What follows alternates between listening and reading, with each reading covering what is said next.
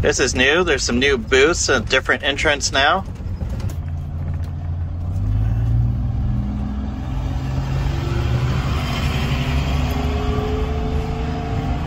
So that new entrance brought us further. They probably needed more room to peop for people to line up before they get in.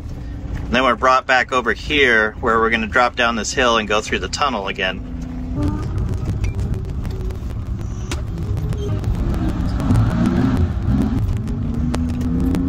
I'm Steve for This Week with Cars, and today I am back at Ozarks International Raceway.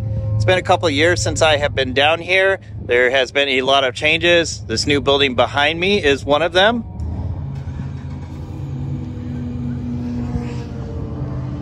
Last year I brought my transporter and I parked 90 degrees from the way these motorhomes are parking. This is now an RV parking area as far as I can tell. The garages are of course over here. I think the parking for the garages has changed. You can see here in my video from last time I was here that the parking went perpendicular to the building and not at an angle. That meant that the vehicles were facing downhill and now at this new angle the parking is much flatter. I did get a garage this time because that was one thing that I learned last time get a garage because there is very little flat area to park a car.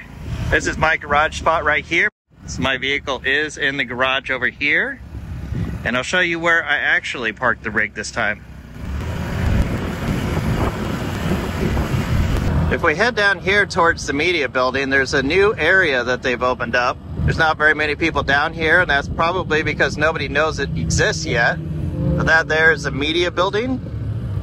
If we come this way, there's actually another entrance that you can get to here when you come through the tunnel. Tunnel is just right over there. So you would take a right after the tunnel, leads you up to here. And they are building a new campground over here. So there's my bus. I do have full-time power. Each box has a 50 amp, a 30 amp, and 20 amp plugs.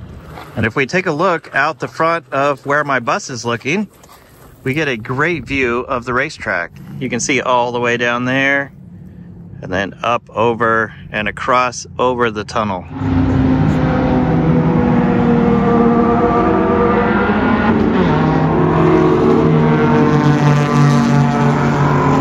It's race day, it's early morning.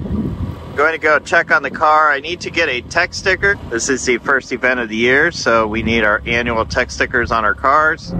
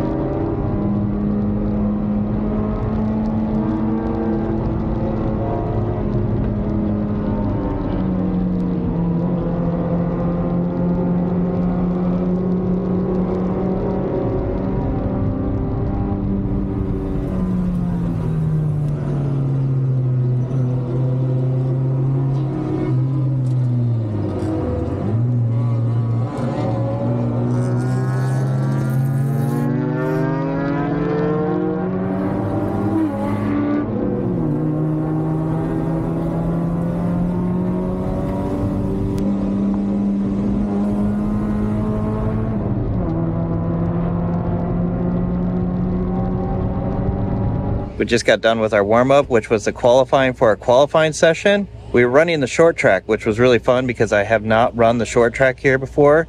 It's almost go kart sized.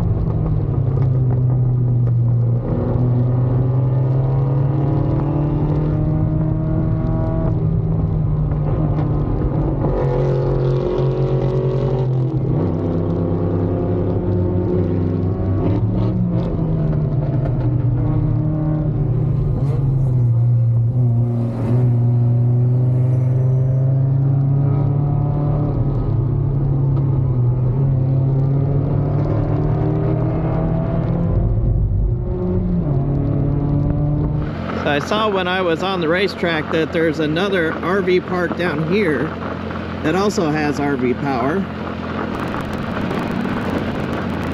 This is a long ways down here.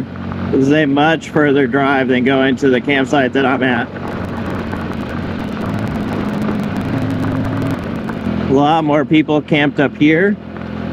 You have a really good view of the track from here.